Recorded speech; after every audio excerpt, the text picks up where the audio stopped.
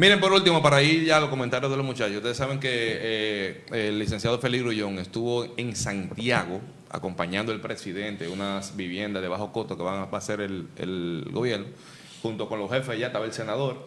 Y cuando el presidente llama a un funcionario que le acompañe, es por los resultados del trabajo, disciplina, empeño y enfoque que está ejerciendo.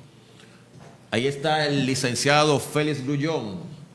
Eso fue hoy. Hoy. Dando el primer O- Picasso. Hoy martes, porque el que ve el corte, que lo Sí, ve el jueves. no hoy sabe martes. Eso hoy fue dando el primer Picasso a un proyecto habitacional Sí. ahí en Ato del Yaque, Santiago. Es- también estuvo tu amigo, el senador de Santiago, Eduardo Estrella. Estrella. Que está como incómodo en esa foto.